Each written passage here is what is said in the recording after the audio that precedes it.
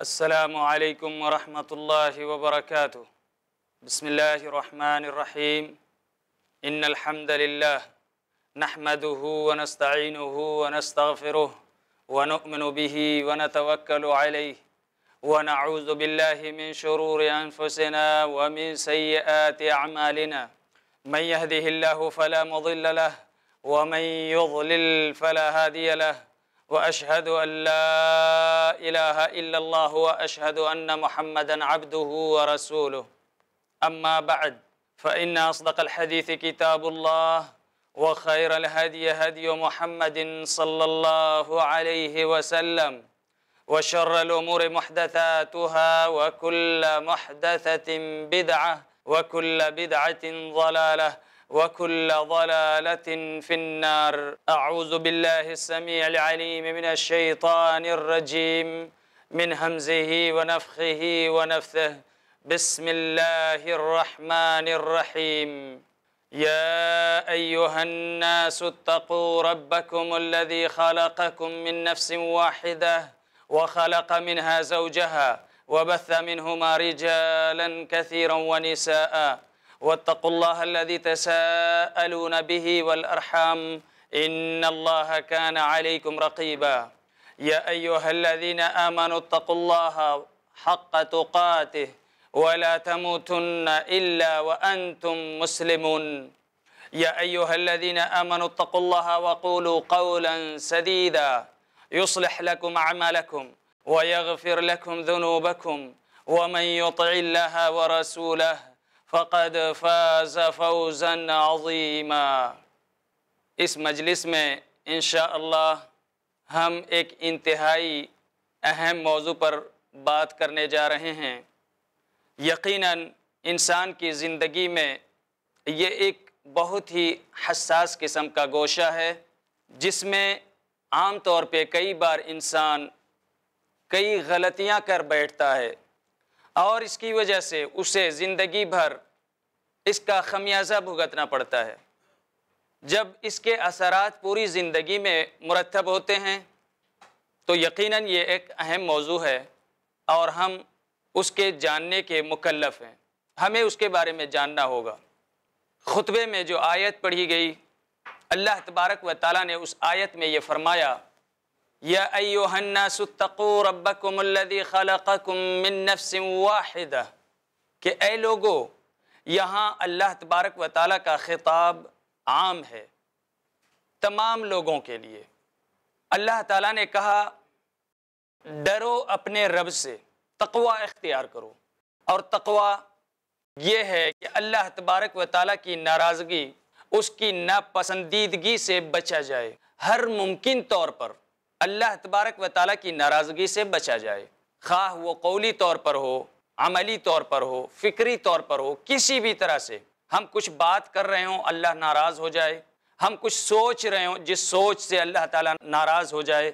ہم کچھ حرکت کر رہے ہوں، جس سے اللہ تبارک و تعالیٰ ناراض ہو جائے۔ اس طرح کی تمام وہ چیزیں جس سے اللہ تبارک و تعالیٰ ہم سے ناراض ہو سکتا ہو، اس سے بچنا، یہ تقوی ہے۔ اللہ تعالیٰ نے تقوی کا حکم دیا اور اس کے بعد فوری طور پر یاد دلایا۔ کیوں نہ ڈرو اس سے؟ اس کی رعایت کیوں نہ کرو؟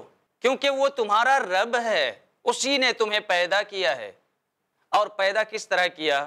خلقکم من نفس واحدہ، ایک نفس سے پیدا کیا۔ اور اس نفس کو اللہ نے اپنے ہاتھوں سے بنایا، حضرت آدم علیہ السلام اور پھر آدم علیہ السلام سے ایک دوسرے نفس کو بنایا۔ اور وہ ہیں حضرت حوا علیہ السلام اور پھر انہی دونوں سے اللہ تبارک و تعالیٰ نے بہت سارے مرد اور عورت پیدا فرمائے۔ ایک اور آیت میں اللہ تعالیٰ نے اس کی طرف اشارہ فرمایا، وَجَعَلَ نَسْلَهُ مِن سُلَالَتِهِ۔ جس اللہ کا واسطہ دے کر مانگتے ہو، الارحام، رحم، جو رحم قرابت ہے، قرابت قرابت کی پاسداری، قرابت کی جو وفاداری ہے اس کو جو نبھاتے ہو، یہ سارا کچھ اللہ تبارک و تعالیٰ ہی کی طرف واپس جاتا ہے۔ اللہ تبارک و تعالیٰ نے رحم کو پیدا فرمایا اور اس سے اپنے نام کو جوڑا۔ رسول اللہ صلی اللہ علیہ وسلم فرماتے ہیں کہ اللہ نے رحم کو پیدا فرمایا اور اس سے اپنے نام کو جوڑ دیا۔ اللہ کا نام رحمان ہے، رحیم ہے۔ اس رحم کا نام اللہ تبارک و تعالیٰ نے رحم رکھا، رحمان اور رحیم سے۔ اشتقاق کرتے ہوئے۔ اس کے بعد اس رحم سے اللہ تعالیٰ نے کہا کہ میں تمہیں یہ بات بتاتا ہوں، جو تمہیں جوڑے گا، میں اس کے ساتھ جوڑوں گا۔ اور جو تمہیں قطع کرے گا، کاٹ ڈالے گا، میں اس کی رعایت نہیں کروں گا، میں بھی اس سے کٹ جاؤں گا۔ اللہ تبارک و تعالیٰ سے یہی حدیث ایک دوسری جگہ، ایک اور انداز سے ہے کہ رحم نے سوال کیا اللہ تعالیٰ سے۔ کہ میرا کیا حق ہے؟ اللہ تبارک و تعالیٰ نے اس سے یہ کہا کہ جو تجھ سے جوڑے گا یعنی قرابت جوڑے گا، صلہ رحمی کرے گا، اپنے رشتہ داروں کے حقوق ادا کرے گا، میں اس کے حقوق ادا کروں گا، اس کے ساتھ صلہ رحمی کروں گا، میں اس کے ساتھ وفادار رہوں گا۔ اور جو تمہیں کاٹے گا، قطع رحمی کرے گا، اپنے رشتہ داروں کا خیال نہیں رکھے گا، ان کے حقوق ادا نہیں کرے گا، تو یقیناً میں اس سے قطع کر لوں گا اور میرا اس سے کوئی رشتہ نہیں ہوگا۔ یہ ہے رحم۔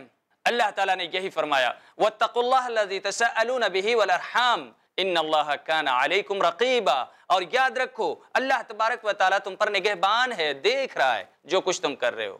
اس آیت میں دو چیزوں کی طرف بالخصوص اشارہ کیا گیا ہے۔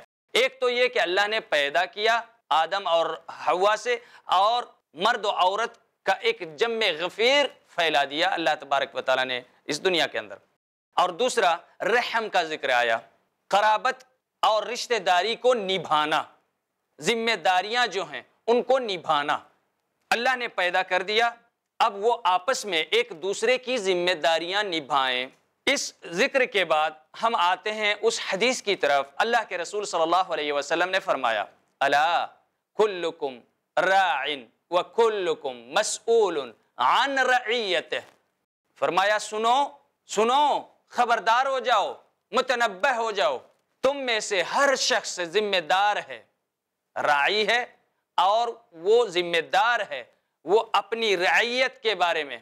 جن چیزوں کی رعایت کی ذمہ داری اس پر ہے، ان چیزوں کے بارے میں اس سے سوال کیا جائے گا قیامت کے دن۔ وہ ہوا مسئول اس سے سوال کیا جائے گا قیامت کے دن کہ اتنی ساری چیزوں کی ذمہ داری، اتنے لوگوں کی، اتنے بڑے احاطے اس ایریا کی ذمہ داری تمہاری تھی اور تمہاری ذمہ داری میں یہ فالٹ ہوا ہے، یہ کمی ہوئی ہے۔ یہاں یہ خرابی پیش آئی ہے۔ آخر ایسا کیوں ہوا؟ یہ سوال کیا جائے گا اس کے حصے کی ذمہ داری میں اگر کوئی کمی ہوئی ہے۔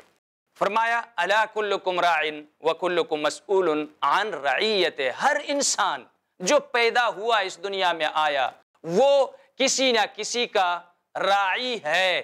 راعی کا مطلب ہے رعایت کرنے والا۔ بکریوں کا چرواہا جو ہوتا ہے وہ راعی کہلاتا ہے کیونکہ وہ ان کی دیکھ ریکھ کا ذمہ دار ہے۔ اسی طرح جانوروں کے دیکھ ریکھ کرنے والا رائی اسی لیے کہلاتا ہے، اگر کوئی بکری گم ہو جائے، کوئی مر جائے، کسی کو بیماری لاحق ہو جائے، کچھ بھی ہو جائے، اس کا ذمہ دار وہ چرواہا ہوتا ہے۔ تو اسی طرح معاشرے کے خاص طبقوں میں بعض افراد پر بعض افراد ذمہ دار ہیں رائی ہیں، ان کی رعایت کے ذمہ دار ہیں اور انہیں وہ ذمہ داری ادا کرنی ہوگی۔ اگر نہیں کریں گے تو یقیناً اللہ تبارک و تعالیٰ ان سے قیامت کے دن سوال کرنے والا ہے۔ وہ ہوا مسئول عن رعیت سب سے پہلے یہ جو ذمہ داریوں کی ترتیب ہے ان کو ہم سمجھتے ہیں کہ کس طرح سے یہ ترتیب تقسیم کی گئی ہے اور کون کس طرح کا ذمہ دار ہے اور ان کی ذمہ داریوں کی مقدار کیا ہے اور ان کو نبھانے کا طریقہ کیا ہے، یہ اگر ہمیں پتہ چل جائے تو انشاءاللہ ہمارے لیے بہت سارے مسائل اس موضوع کے آسان ہو جائیں گے۔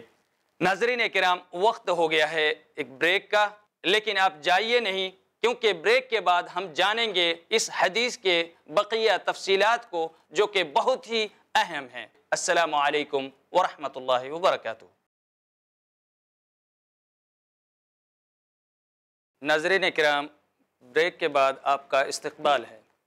ہماری بات جاری تھی اس حدیث کے بارے میں، جس میں اللہ کے رسول صلی اللہ علیہ وسلم نے فرمایا اللہ کلکم راعن و کلکم مسئول عن رعیت کہ ہر شخص، ہر فرد راعی ہے اپنے بعض افراد کے لیے، بعض چیزوں کے لیے۔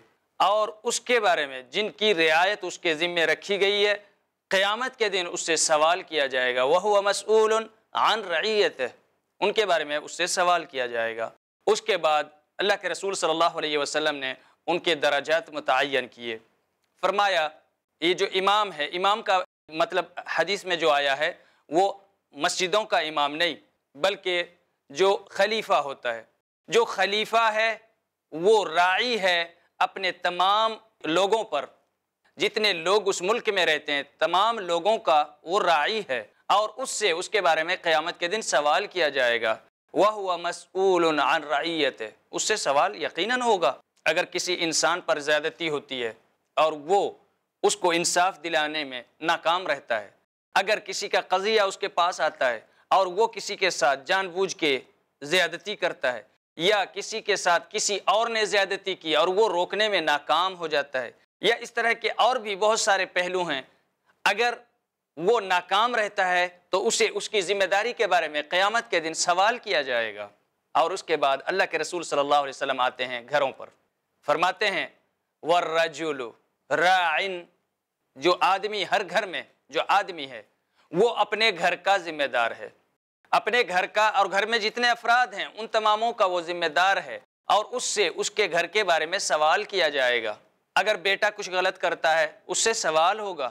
بیٹی کچھ غلط کرتی ہے، سوال ہوگا قیامت کے دن۔ بیوی کچھ غلط کرتی ہے، اس سے سوال ہوگا قیامت کے دن۔ یقیناً غلط کرنے والے جو ہیں، وہ اللہ کے یہاں ان سے بھی سوال کیا جائے گا۔ لیکن یہ شخص جو کہ ذمہ دار تھا اور وہ ان کو روکنے میں، صحیح رہنمائی کرنے میں، توجہ کرنے میں ناکام رہا، تو اس سے بھی قیامت کے دن سوال کیا جائے گا۔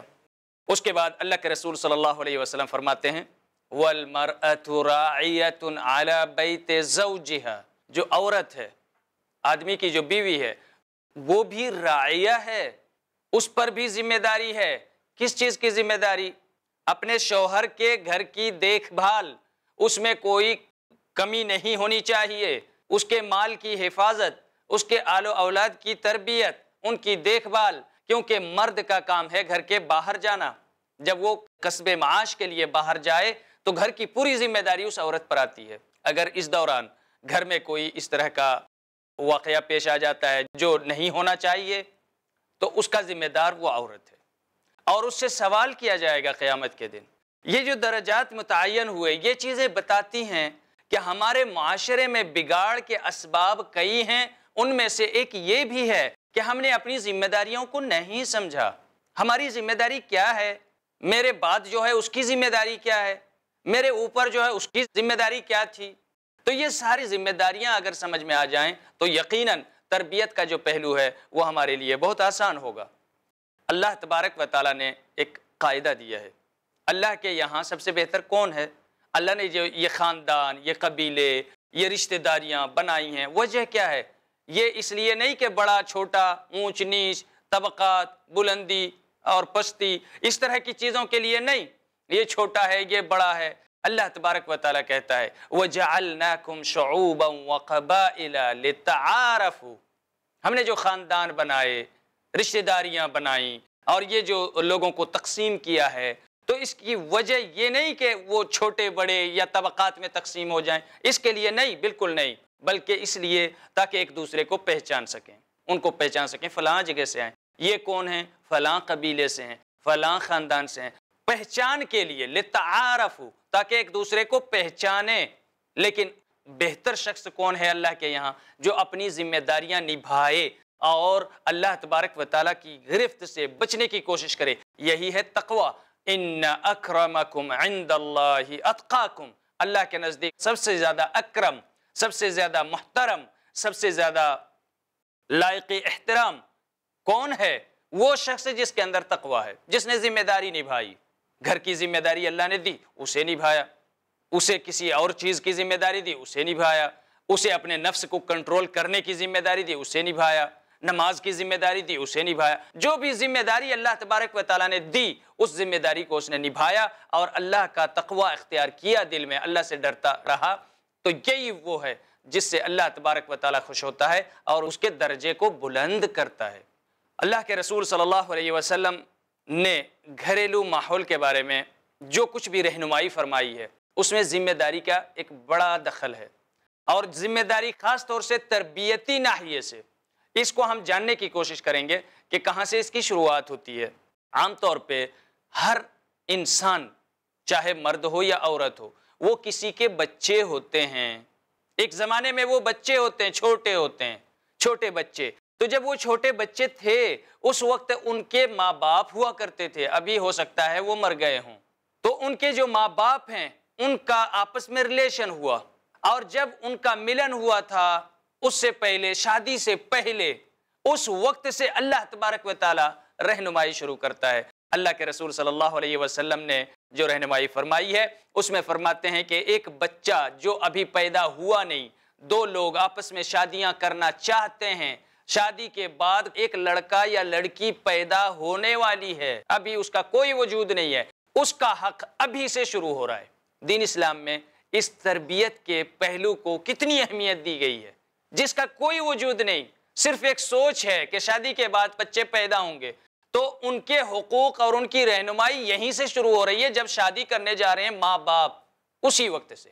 اسلام متعین کرتا ہے کہ اس بچے کا یا بچی کا جو پیدا ہونے والا ہے، اس کا حق یہ ہے اپنے باپ پر کہ اس کو ایک اچھی ماں دے۔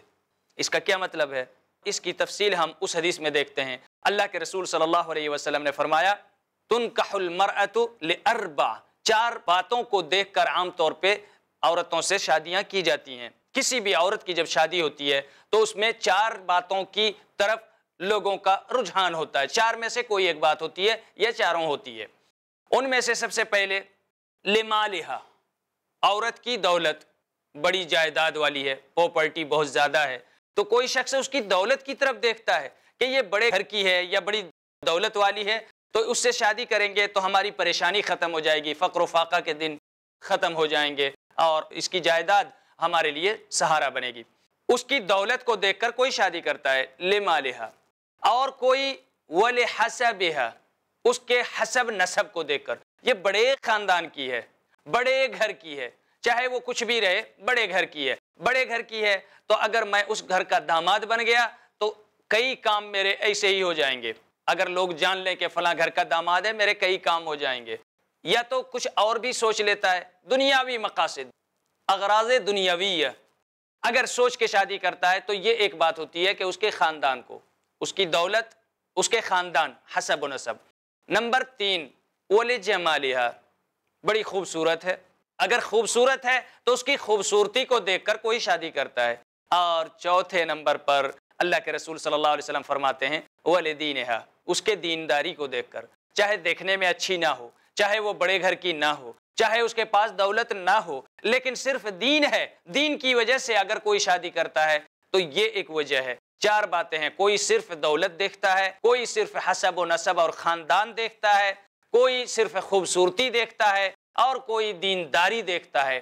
اگر دینداری کسی کے اندر ہے، تو یہی اللہ کے رسول صلی اللہ علیہ وسلم فرماتے ہیں کہ اسی کو اختیار کرو اور باقی چیزیں اگر اس میں ساتھ میں موجود ہوں تو یہ ایک اچھی بات ہے۔ اگر نہیں بھی ہوں تو صرف دینداری کو بنیاد بنا کر اس سے نکاح کرنا چاہیے اور یہ اس بچے کا حق ہے جو کئی سالوں بعد پیدا ہونے والا ہے۔ یا بچی جو پیدا ہونے والی ہے۔ اب یہ جو دین اسلام کی رہنمائی ہے، چار باتیں۔ ایک شخص دولت کو دیکھ کر ممکن ہے وہ شادی کر لیتا ہے۔ لیکن بعد میں جب بچے پیدا ہوں گے، وہ کہیں سے ایک عورت کو دائی بنا کے اٹھا لائے گی۔ وہ اپنے بچے کو دودھ نہیں پلائے گی، کئی طرح کی پریشانیوں کا حوالہ دے گی یا کئی طرح سے کوئی پریشانی بتائے گی یا کوئی اس طرح کی کمزوری یا کئی بہانے ہوتے ہیں۔ اس طرح سے خود وہ اپنے بچے کو دودھ نہ پلائے، خود اسے گود میں نہ اٹھائے، اس کی صفائی ستھرائی نہ کرے، اس کے کپڑے نہ بدلے۔ بڑے گھر کی ہے، وہ سوچے گی کہ میں یہ سب کیوں کروں؟ وہ دائی کو لا کے اپنا کام کروائے گی اور وہ جو آنے والی ہوگی باہر سے، یقیناً اس بچے کے اخلاق، اس کے ثقافت، اس کی کسی بھی چیز پر اس طرح کی گہری نظر نہیں ہو سکتی جتنی ایک ماں کو ہو سکتی ہے۔ ماں ہی ہے جو اپنے بچے کی ہر چیز پر نظر رکھے گی کہ اس کی سوچ کدھر جا رہی ہے، یہ کس طرح کی حرکتیں کر رہا ہے، یہ بیمار ہے کہ کیا ہے، کیا ہو رہا ہے۔ جو باہر سے آئے گی کام کرنے والی، وہ اس بچے کو اپنا بچہ سمجھ کر کام ہرگز نہیں کرے گی۔ اس لیے کہ اسے صرف پیسے سے کام ہے۔ مہینے پورے ہوئے، اس نے پیسے لے لیے۔ لیکن اگر وہی کام ماں کرتی ہے، تو یہ سوچ کر کرتی ہے کہ یہ میرا بیٹا ہے اور اس کے لیے جو کچھ میں کروں، یہ عبادت ہے اور یہ بیٹا اچھا بنے، نیک بنے، میرے نیک نامی کا سبب بنے۔ یہ جذبات ہوتے ہیں۔ ایک عمومت عمومہ ہے۔ ماں کا پیار اور لاڈ، اس کے ساتھ وہ بچہ پروان چڑھنے لگتا ہے۔ اور اسی طرح اس کے بعد جو دوسرا مرحلہ تھا کہ وہ بڑے گھر کی ہے، تو بڑے گھر کا ہونا بھی یہ کافی نہیں ہے۔ بڑے گھر کی جو لڑکی ہوگی، وہ بھی کئی بار ہو سکتا ہے وہ دیندار بھی ہو، لیکن اگر دینداری اس میں نہیں ہے، تو یقیناً وہ بھی پریشانی کا سبب ہے۔ لیکن دینداری دینداری یہی وہ اہم چیز ہے۔ اللہ کے رسول صلی اللہ علیہ وسلم نے آخر میں فرمایا، اگر تم بھلائی چاہتے ہو تو دیندار لڑکی کو اختیار کر کے اپنی کامیابی حاصل کر لو۔ اسی میں تمہارے لیے کامیابی ہے۔ ناظرین کرام، آج کی مجلس میں ہماری باتیں ختم ہوتی ہیں۔ انشاءاللہ ملتے ہیں دوسری مجلس میں۔ تب تک کے لیے اجازت دیجیے السلام علیکم ورحمۃ اللہ وبرکاتہ۔